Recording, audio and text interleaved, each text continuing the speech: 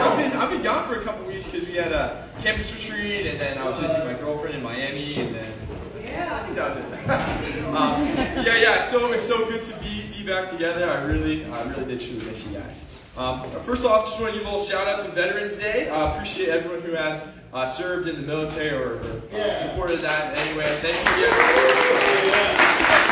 Shout out to my dad, 26 years, and then uh, my grandma and my mom were awesome military wives. So love you guys. Appreciate you. Um, yeah. Also, uh, also want to give a little uh, sad announcement. Um, this past week, uh, Patty Headland did pass away. Um, so yeah, we just want to. Uh, I want to take a little bit of time for prayer for that, and just uh, you know, just be, be mindful uh, be supportive of family members and, and things like that. So yeah, super super sad to see someone go, but I just like to have have a little bit of time for prayer. Um, dear Lord God, uh, God, we really do mourn mourn the loss of Patty. Um, we pray that you should accept her and, and, and carry carry her along to the second. Um, into eternity, God, and, and, we do pray that you can comfort and, and guide her family members and those that she uh, left behind. And God, we do really mourn, mourn her loss, and uh, we're, we're, grateful that you are a good God too, that uh, is eager to comfort and, and uh, um, be an advocate for us too, God. But it's in your Son's name we pray. Amen. Amen. All right, uh, you can go ahead and open your Bibles to John 16. We're, we're, continuing in our sermon series through the book of John called Rise to the Light of Life. Um, and the title of my, my lesson today is Befriend Conviction. Um, and so I kind of want to start out with, with a, a, little story. Uh, there's this leadership expert by the name of Jim Collins, and he's he taught at Stanford and and was has done a lot of research into okay what makes businesses and organizations be really successful, and, and how how can what what are the things in their in their organization and their culture that that brings them to lots of success, and he had this, this desire and drive to, to, to, figure, to figure this out. And he studied tons and tons and tons of companies, thousands, and found 11 companies that went from good to great. That they first they were doing decent, like not not terrible, but not amazing. But then over some time, these companies that were average, they went to uh, lead, kind of leading the market in, in their respective fields. And so he studied these 11 companies really, really in depth to find out what, what made these companies so incredible and so successful. And, and then he posted his, uh, his findings in a book called Good to Great, which is incredible, incredible read. Um, but one of the things that these, each of these companies do is that their leadership teams are, are super focused on finding the best solution and they, they, are, they, they do not care about offending each other. And in their in their uh, in their leadership meetings, it can, they can get in really heated arguments uh, and and argue like get, go back and forth really strongly between each other um, in order just to find anything that's that's constructive for the ultimate result. And they don't care about you know who whose solution was it or who proposed this, but but they they are really focused on all right, what is the solution and, and how can we grow and then how people feel or whatever. Like those, those are secondary things. And they, they sometimes it's said in the book they can get they can get overly heated. So you know we're Christians, we're not going to try to imitate that exactly. But we we have something to learn from this that they have discovered a really godly principle that when you embrace uh, being wrong and embrace trying to find the best solution, you will be blessed and, and benefit incredibly. And, and God, obviously, God knows this and, and is willing to give that same blessing to us that we might find success and, and benefit and be blessed in our lives. A little different than, than how the companies go about it. But when we embrace being wrong and, truly finding, okay, what, what is best in our life and dump, dump how we feel or um, whatever obstacle that, that may be, we will be really blessed in what we do. So, yeah, you can look in uh, John 16, verse 5 to 11. Um, and my first point is the Spirit convicts. So, verse 5. This is Jesus speaking to his 12 uh, apostles here. He says, But now I'm going to him who sent me. None of you asks me, Where are you going? Rather, you are filled with grief because I have said these things. But very truly I tell you, it is for your good that I am going away. Unless I go away, the advocate will not come to you. But if I go, I will send him to you. When he comes, he will prove the world to be in the wrong about sin and righteousness and judgment. About sin, because people do not believe in me. About righteousness, because I am going to the Father, where you can see me no longer. And about judgment, because the prince of this world now stands condemned.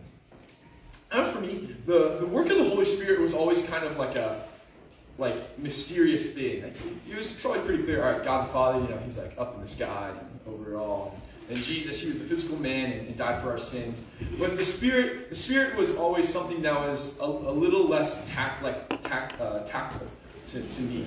But here, it's, it's it's really great that Jesus describes exactly what the Holy Spirit does.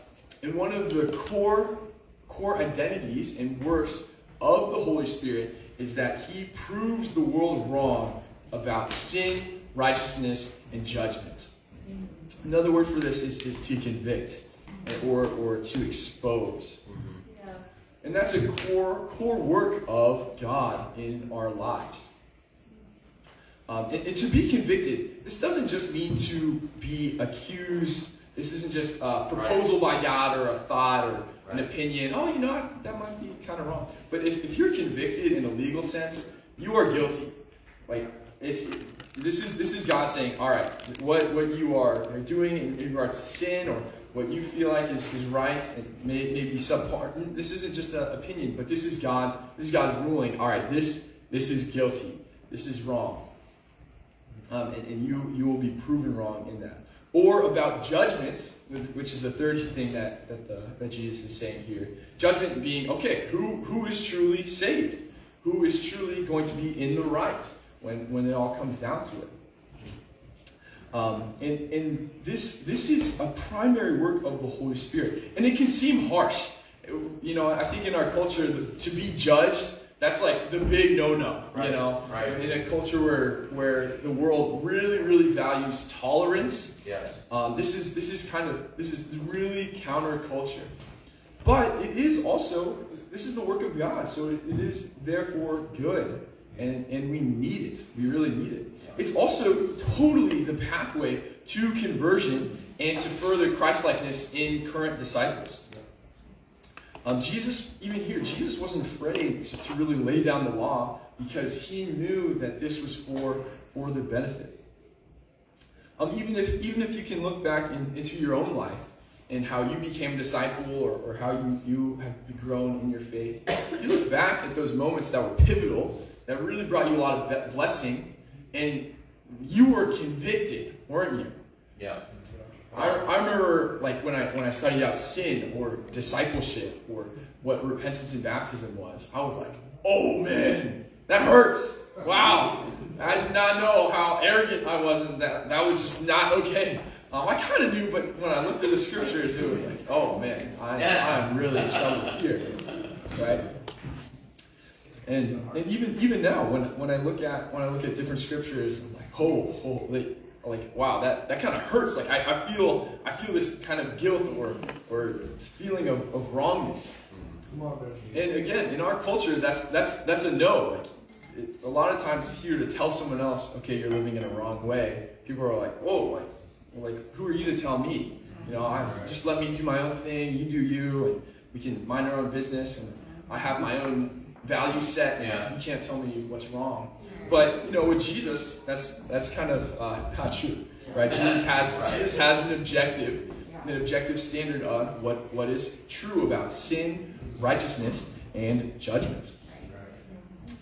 And so, so for you, this we, we have to know that the work of God is is convicting people, and it, it does bring you. It, it is a blessing, and we have to embrace it.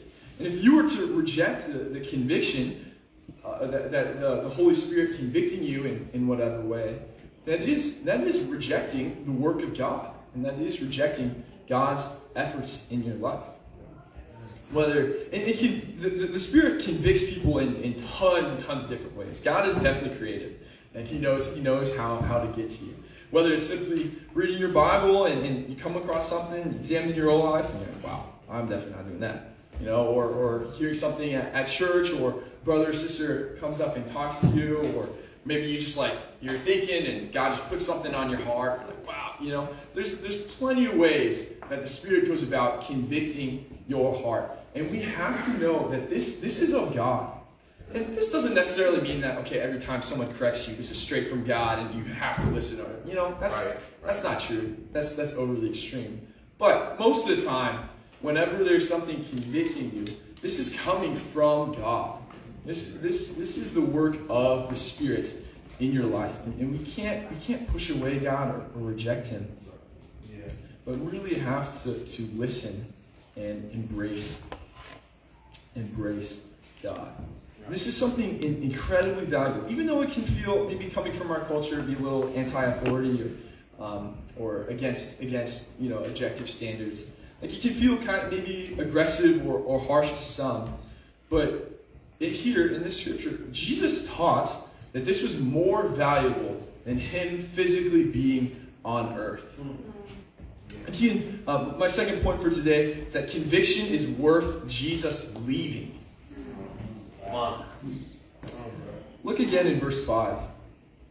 It says, Jesus says, But now I'm going to him who sent me. None of you ask where you're going. Rather, you are filled with grief because I've said these things. Here's the, here's the big thing. Very truly I tell you, not just regular truly, very truly. I told I tell you, it is, it is for your good that I am going away. Unless I go away, advocate will not come to you. And when the advocate, Jesus says later, when he comes, he will what? Bring conviction, prove the world wrong. Jesus says, it is for your good. This is for your benefit. It's better than Jesus' physical presence that it's for you to have conviction. And, and not only is, Jesus, is this applicable for us today, but he's, he's even telling this to his 12 disciples right here. And so if, if you could just think for a second, like, whoa, what do you think these disciples are thinking? Because they must have gotten some serious benefits from having Jesus physically there, right? Like if you watch the Chosen, you can see you can see like the their life really really uh, be visualized. But you know how how Jesus pulled people out of, of meaningless fisherman jobs, or or pulled them out of, of demeaning tax collector tax collector jobs in Matthew, and being being shamed, or pulling all these people to to be, have the honor and respect of being a disciple of the Messiah be part of something incredible where before they were just doing meaningless things. You could think these people, these people, whenever they were being faithless, he helped them just exactly the exact right scripture, the exact right way to approach them, to, to build them up and strengthen them. Or if they were they were feeling un, un, like very low, he'd know exactly what to do to comfort them. He'd heal their mother-in-laws and go about you know doing all these things. You know, he, he, he knew them. He had a very intimate, intimate relationship with his disciples. Um, he, um, he, he, uh, he saw you. He was, he was really with them fully. It must have been incredibly valuable for the disciples to have Jesus physically there. But Jesus saying to them and to us here today that the power of the Spirit in conviction is more valuable than what they had. And so for us today, man, what a treasure it is that we have the Spirit working amongst us to bring us conviction. What a blessing it is. And, and Jesus knew this well. He said, he, he, was, he was even willing to fill them with grief to do this. And it's not just like, oh, you know, I'm kind of sad, like a little bit of grief. I dropped my ice cream cone on the side on the sidewalk, whatever. No, they were they were filled with grief. Yeah. Not just some, a lot. Like full consuming, oh my goodness, my Messiah is leaving me. What am I going to do? You know, I, I, I, if you were at this time making all your hope in the physical person of Jesus, you'd be pretty stressed. Like, oh man, what, what am I supposed to do? I, I got no more options. What's going to happen? So here Jesus is comforting him, saying, okay, this is going to be better once you have the Spirit moving. Um, and, and then you will have conviction. And um, this, this is similar to even, even the physical body and, and physical pain too. The, the value of conviction. And so there's this condition, it's called CIPA. It, it stands for congenital insensitivity to pain and anhidrosis. And the, pretty much the, this condition means that you, you can't feel any pain and you can't feel any temperature changes. And it, you know, that might seem kind of nice. Oh, cool. Like, I never have to feel any pain. That'd be, that'd be kind of nice, right? Never get hot, never get cold. Like if you stub your toe, you don't feel it. You can just chill, right? However, this condition is considered very dangerous. Yes. And most people don't even live past 25 years old.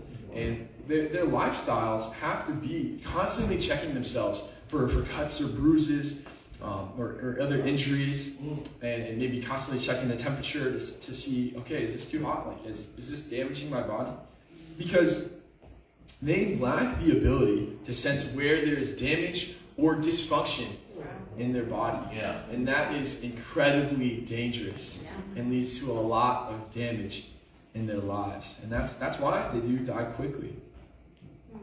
And so, same with us spiritually, we die quickly if you can't see where there's damage or dysfunction right.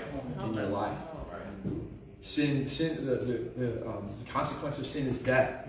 You know that you, you, you can say that that leads to hell, yeah, totally. But also, like any sin that has a root in your life, it does bring it just it just damages you and, and pulls you down and, and tarnishes your soul. And if, if you don't hear if you don't hear God's emotions into your life to tell you, hey, where is there damage? Where is there dysfunction in your life? It's, it's not going to go well. It's not going to go well. So that's why it's such a blessing that we have the Spirit to bring about conviction. Yeah. And, and, if God if God wasn't able to speak to you and, and to move you to push you away from these things, man, what what damage would you uh, experience? Now I want to I want to ask you guys a question, and and I really want you to pause and think about this one. What would your life look like if you were never convicted? Mm you just had, if, if there was no presence of God telling you what's right and what's wrong, there's no moral standards, there's no motion of God to kind of point you, what would your life look like? It would be pretty rough. Man, I know, I know, I need that. And I think before, and probably when I was a kid, like I, did, I didn't really like being convicted. Oh, you know, you're wrong. Ah, you know, come on. Like, let me just do my thing. But but now now I, I think I think I've developed like this love of being convicted. It's kind of like oh yes, like I, I love I love being sharpened and, and shaped to, to be able to grow and, and and experience more blessing in Christ, to receive more and more God, more and more of God in my life. That I know He's just going to bless me, so the more I can bump out the other stuff and increase uh, increase the godliness in my life. Woo! Yes, give it to me, give me it all. And, and we have to have that, that same attitude. Yeah. Um, and it, it, does, it, it is truly beneficial for other people as well. You have to believe that and know that, right? Um, and I know it, it can be, it's, I say it's probably easier to apply to yourself. Like, okay, you know, I can really bring some conviction myself, but do I necessarily want to like inhibit someone else or make them feel bad? Because when you're convicted, you do feel bad, like you're guilty, right? So if you love them, typically you're not going to extend that as much.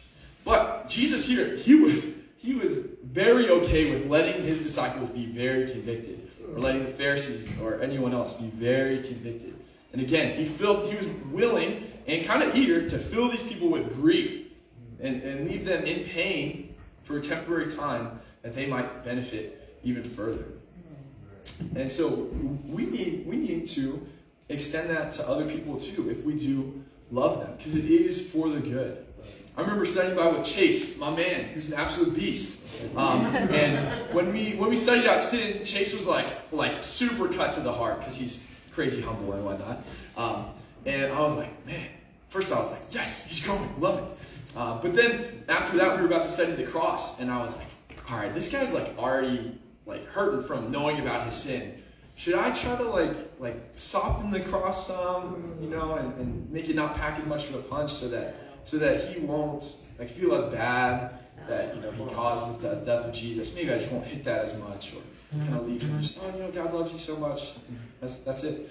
Um, but then I was like, man, like I would be softening it, but that would be hurting Chase in the long term, yeah. not to convict him more. Yeah. He really needs that. And so then I didn't soften it at all. Like, all right, and also softening it, that's deceitful. Like, this is the truth. Like, what, what, this is the Bible. What am I supposed to do? You know. And so uh, I, I, think I think that did really help Chase like, grow, and now he's even more of a spiritual beast than what, whatever. uh, so um, yeah, it was, it was for it was for his benefit, and, and so we got to be willing to hurt each other some too. And, you know, there's tact and there's gentleness and stuff, but you know, let it be okay to let something hurt some people, right? This is this is the way of Jesus. We need that. And I think at the root of this, uh, the reason why Jesus is doing this is because he truly values your holistic salvation more than temporary comfort or grief. And with, with being saved, being saved, like disciples are, are continuously being saved. Like it's not just, all right, once you're baptized, boom, got the check save button. Or just saved. that's that's true. You, you, do you do have you are in the kingdom, but we're continually shaped and and, and blessed and, and saved from our sin. We're continually growing and get to move further and further past our sin and more and more into the kingdom life, which is such a blessing. And Jesus really knows this. He really knows this. He believes in it. Um, and we, we have to do that too. And then on top of that, Jesus was trying to be a friend to us. He would, he, like, you know, there's, there's two pieces there. He knows that this is valuable to us, and he cares enough to apply that to us. So he really is our friend. Um, and, you know, because he is our friend, we need to embrace our friend. That's my third point, is to embrace your friend. Here in, in John 16, Jesus uses the, specifically uses the word advocate to describe the Holy Spirit. And there's, there's multiple different, um, uh, multiple different references of, of what the Holy Spirit is described as, whether it's um, comforter or spirit of truth a little bit later in chapter 16. And, and even in the message version, the message version uses the word friend to describe the Spirit. But ultimately, what an advocate is, is someone who has your back, who's, who's willing to go to the, to the next people and say, okay, I'm, I'm going to stand by this person and, and proclaim for them and, and defend them. I'm, I'm for this person. And so, and, and, then right after that, Jesus describes this advocate, someone who is for you, the Spirit who is for you, and brings on all the conviction stuff. And so we have to know that, okay, our friend, the Holy Spirit, is going to bring us conviction. And so with friends, like, it, with friends, you, you, keep them close, right? You spend time with them, you listen to them, you open your heart to them, you trust that they're for you. You don't shove them away, but, but you really you really bring them close. You look forward to spending time with them, right? I know for me, my girlfriend, she's coming back to Ohio. 246 hours. I know it. I'm excited to see her. I'm excited to see her. Brother. Friends tell each other the truth. I know my brother, my, my twin brother, we're super tight, obviously. Um, but he tells like he tells me the truth. He doesn't he doesn't sugarcoat it at all. He tells me kind of, kind of all the time. Mitchell, you're bad at singing. You think you're good. I know what you're thinking, but you're bad. I've lived you my entire life. You're bad at singing. And I don't, you know, I, I know he's for me. I trust he's for me. I think it's funny. I kind of disagree with him. I think he's But, you know, as my friend, he tells me the truth, and it helps me grow. You know, it's a little wrong, but. yeah, I think I'm gonna see you. Oh!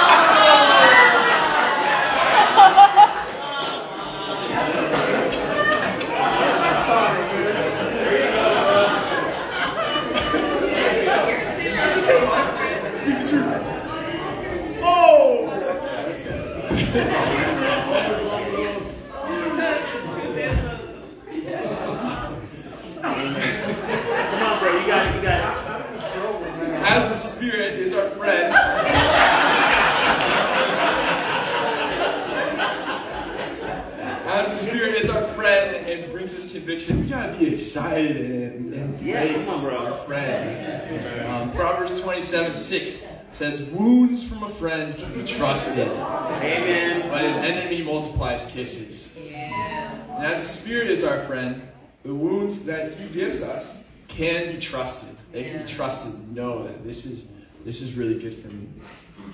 So today, do you trust the wounds that God is giving you? That's a good question. Oh. Come on. You know, you know that these are for your benefits. Mm-hmm. Do you see them as something to, oh, you know, scare your back, you know, or that hurts. Just kind of subconsciously push that away. Do you, you really trust that and and bring bring it? And and especially as friends, you know, if the Spirit is your friend, you don't push them away. With friends, just inherently, you spend time with them. So, my point here: don't ghost the Spirit. If ghosting is, ghosting this is kind of a young people term in case you don't know. But it's, it's when you just like don't text people back they keep messaging you, you just block them, you know, and, and don't don't don't listen to them. Maybe they maybe they keep texting you or keep calling you, but you do not respond. Alright? Don't ghost the spirit. You can't evade the spirit. Yeah. And this is this is challenging because being convicted is inherently hard. That's an inherently uncomfortable thing. Yeah. And it's really easy to just, you know, silence your conscience and push push it away, ignore him and his promptings and leave him on read, right? Where you literally read it and then leave and that's it. Um, but we have to we have to embrace our friend. He- There's an example in in Acts 24 of someone who kind of goes to the spirit. Uh, Acts 24, verse 24. Uh, Paul Paul is in prison and, and he's on trial. And so he's he's on trial, but still sharing his faith anyways. And in verse 24, he's uh, he's testifying before Governor Felix. It says, several days later, Felix came with his wife Drusilla, who was Jewish. He sent for Paul and listened to him as he spoke about faith in Christ Jesus. Come on, Paul, share your faith at all times. Um, then, as Paul talked about righteousness, self control, and the judgment to come, sound familiar? Felix was afraid and said, That's enough for now. You may leave. When I find it convenient, I will send for you. Yeah. At the same time, he was hoping that Paul would offer him a bribe, so he sent for him frequently and talked with him. So here, Felix, he's, he's listening to Paul. He's, he's even, he's even kind of intentional about it, spending the time to go and hear the Word of God and what faith in Christ Jesus was. But he is he really has blocked off the Spirit. And he's running from being convicted because why? He was afraid. He was afraid. And so for us, there's there's a lot of ways. There's a lot of ways to flee conviction or, or ghost the spirit. Um, you could you could go to excuses oh you know I don't I don't got time or I'm too busy or uh, you know there's there's too many things going on in my life. I don't know. That's that's probably the one I go to the most. Um, or you could go to theological reasoning or or debate. Oh you know I I got you know this context. Uh, you're trying to really honestly it's just evade the simple truth that you know maybe you're hard-hearted. There's definitely space for, for the depths of the Bible. I love digging in. But ultimately, we, we got to have that, that soft heart to embrace the Spirit as your friend and embrace conviction as your friend. Yep. Come on. Maybe you say you forgot. Like, oh, you know, I read that, but it, like, there's, I just forgot. Well, was that forgetting really fueled by your desire not to deal with the sin, or trying to push away, push away God's work? Mm-hmm. Maybe, maybe you're like Felix here, and you just got some cowardice in your life. Cowardice is definitely a sin. That's totally a sin. Yeah. I think we don't. We don't. I- I, feel like I haven't. I, I I feel like our culture doesn't value bravery a lot anymore. Come on. It's, you Come on. see a lot of people becoming more and more timid, Come and that's just okay. Like, oh, you're afraid. That's okay. You know, Yeah. that's that's that's still a sin, right? If there's godliness there, and you don't you don't obey and trust that because you're afraid, how is that not a sin? Yeah. right? So we have to we have to listen to this, or at the absolute worst, simply telling God no. Like, mm. all right, God, you're convicting me of this, you're telling me this thing, but I just don't want to. by, shove it underneath the rug. And there, I, I think there's really value in, in coming to God and saying, okay, God, I pray this. I definitely pray this when I'm wrestling with this. My God, I right now, I totally don't want to do this. I'm just going to be honest. And being honest with God is great. Wrestle. Yes. yes. Just open the floodgates of your heart to God. But if you have that heart of disobedience and you say no, and you, are not willing to talk to Him about it, man, that is probably that's probably the most dangerous thing. And as for us, I, I feel like a lot of people in this room, you know that it's really valuable to be convicted. I feel like I feel like we know that. But the, the problem is really believing it and getting out of the thought habit of resisting or, or fleeing conviction. Yeah. Really embracing and, and bringing conviction close to your heart and letting God move you. I'm reading this book called The Disciplined Life right now by Richard Taylor. And he has this quote about um, pretty much about doing hard things. And he says, This psychological block to, to do hard things is irrational because the resistance is not intelligent opposition to specific disciplines, which in themselves are wrong, but impulsive and habitual opposition to all restraint, right or wrong, and particularly that restraint or opposition which may happen to cross one's desires and impulses of the moment. And so I've been, I've, I, I feel like the, the biggest challenge in, in Christ-likeness isn't, isn't just knowing, okay, what, what the scriptures are and, and what is the doctrine, but letting that and trusting it into pulling it into your life completely and really believing it. Because we all know, we all know sin, sin is awful and destructive, right? Yeah. But, but are you willing to pull it into every aspect of your life and really believe it and, and fulfill the Word of God into your life. Because this really is a blessing. Being convicted is such, such, such a blessing. This is a core part of who God is and why the Spirit was willing to come. Jesus knew it was so valuable that he was willing to leave this earth, to grieve his disciples, to bring this presence of conviction on us and, on the world. Because he knew, man, this is friendship to us. This is what it means to be close to us. And I want to charge you to befriend conviction. This is your friend. This is this is your this is for your benefit. This is your advocate speaking to you. Embrace him, befriend conviction, and let it let it run your life. Amen. Amen. Amen.